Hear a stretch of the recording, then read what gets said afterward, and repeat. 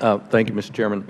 Uh, Mr. Conner, uh, you referred to uh, international harmonization. I'd probably kind of like to have you expand on that, although I know there are oftentimes sensitivities since you do have to deal with some of these foreign entities uh, on an ongoing basis. But, you know, the FAA is, you know, say they're, they're working with the European agency on, on a so-called mutual acceptance model.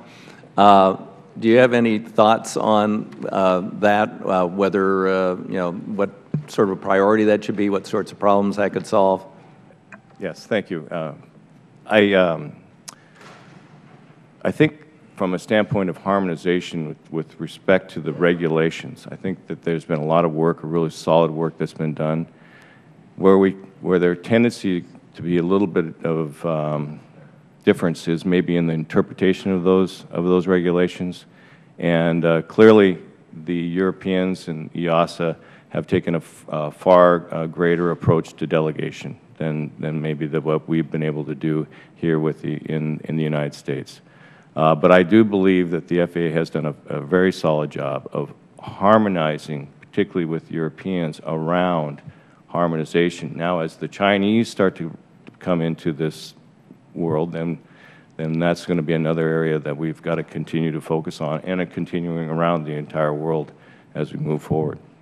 Okay, well, I I won't ask you here, but perhaps you might opine to me privately on how you see sometimes the regulatory structure being used uh, on a competitive or anti-competitive basis, and I'd be interested in, in thoughts on that, but I won't ask you to do that Okay. publicly. I would, uh, I would love to spend some time Yeah, with you on that. I would, I'd love to. uh, And um, to, to follow up on um, um, your statements, uh, Mr. uh, Hilkemann, is, um, you know, one of the parts of the past testimony, since I know you're not here representing GAMA, but, you know, you do, you are involved with them, and th- they're saying because, and, you know, part of this is, you know, part, part of this is a- sometimes a bureaucratic problem, but sometimes it's a resource problem in terms of expertise or actual just people to staff these issues.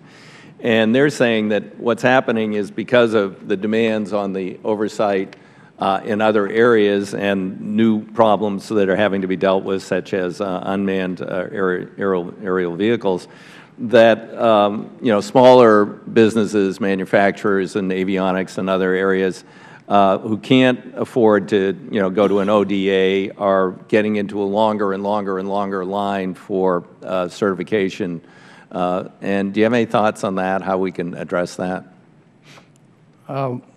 Duncan Aviation has an ODA. We have uh, for a Yep, number. just get a little closer to the mic. I'm sorry. Uh, Yeah. uh, Duncan Aviation does have an ODA, and we've had for a number of years. Right. Uh, It has been very successful us, for us as well. It's, uh, there is a lot of work. Uh, uh, We had a lot of staff. Uh, In our case, what we're able to do is also hire unit members that uh, we don't have on staff full-time. Because of the the variety of the airplanes that we work on, we don't have dedicated unit members for each of the applications that we use, so we hire them as we do, uh, as we need. Um, So that's how some of the smaller companies um, uh, go about doing it. Uh, I would say there are members on my committee of GAMA, the maintenance committee, that do not have ODAs.